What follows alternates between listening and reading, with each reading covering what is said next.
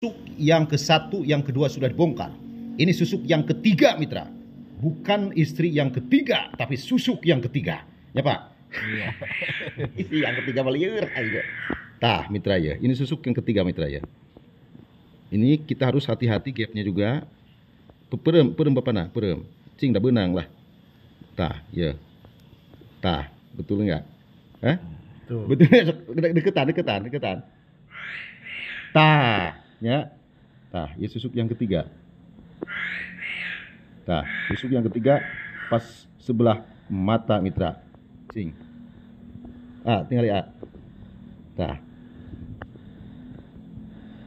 Katinggal itu. Tah ya. Cing. Eh, Aduh, euy.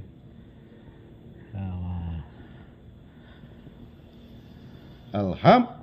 Alhamdulillahirabbil alamin. Tah, susuk yang ketiga bersarang di dekat mata. Nah, ini bekasnya mitra nih. Tuh. Nah, ini mitranya, susuknya. Aduh, euy. Alhamdulillahirabbil alamin. Nah, susuk pertama yang kedua yang ketiga pamajikan tapi apa hiji pamajikan satu Satu. satu wae Heeh. Ai susu kayak tiru-tiru teuing atuh ieu teh kumaha ieu teh? Majikan tinggi. Oh, pamajikan hijinya. Ampun aing euy. Kela mitra ya. Jadi susuk ketiga teh semuanya. Tah. Ya. Susuk tiga butir bersarang, satu di kening, yang kedua di pipi sebelah kiri, yang ketiga di eh, apa namanya? di dekat mata, di dekat mata. Alhamdulillah di hari ini Bapak bertobat, membuang kemusyrikan, membuang pengharaman. Jadi jangan diikuti langkah-langkah Bapak ini sebab ini menyesatkan umat. Bikin petaka, bikin penyakit. Heeh, kadinya nya. Keun keun bae lah. Da ieu mah geus geus iya edukasi. Bikin petaka, bikin penyakit, bikin keresahan, bikin kegelisahan, bikin seret rezekinya. Jauhi susu kalau hidup pengen berkah, pengen mulia, pengen sehat, pengen selamat, dan pengen benghar, loba duit. Banyak rizki, banyak bersirkah. Duit eueuh, sedekah hese, Pak. Betul nggak? Tuh. Betul nggak? Betul. Betulnya. Jadi harus banyak duit untuk bersedekah. Lain dibanyakan susu kumaha itu kalau teh. Aduh, ampun ya mah eh. Kolot teh kalah dibanyakan susu bukannya dibanyakan harta benda, malah susuk yang bersarang tiga butir ini. Nah, jauhi susuk kalau hidup pengen berkah, jauhi susuk kalau hidup pengen mulia, jauhi susuk kalau hidup pengen kaya raya, kaya hati, kaya harta benda untuk bekal beribadah. Istilahnya rizki katanya tidak dibawa mati. Kalau kita mati, yang tahlil nggak ada mitra. Betul.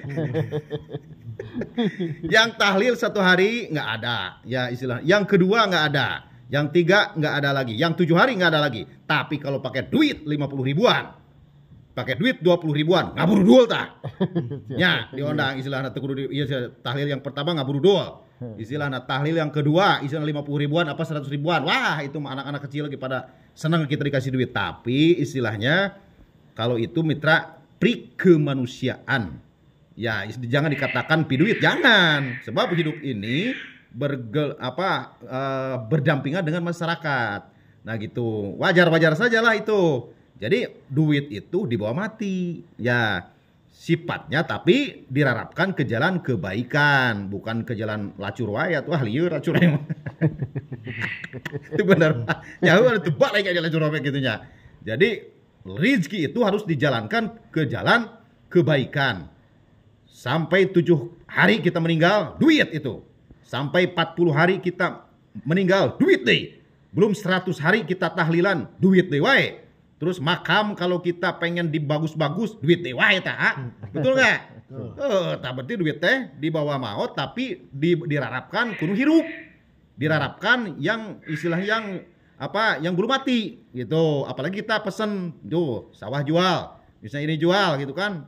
Rarapkan kalau kita mati misalnya pakai pem- pembangunan masjid. Nah itu kan dibawa mati. Ada ijab, ada ijab kabulnya. Jadi ganjarannya khusus ke almarhumah gitu. Nah gitu, berarti jelas kalau orang yang bilang duit tidak dibawa mati, berarti istilahnya pikirannya nggak jeli itu. Sepintas. Ya. Iya. Benar tuh, Pak? Benar tuh lah. Betul nggak? Betul. Betul, tak gitu. Jadi harus banyak duit untuk bersedekah, untuk beribadah, untuk meniti amal kebaikan. Salam rahayu, ek di gap deh ya, ting barang seperti itu, baru baru dapat